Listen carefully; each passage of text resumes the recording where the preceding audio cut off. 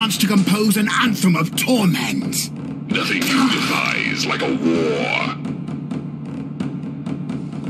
Has your thirst for agony brought you before me?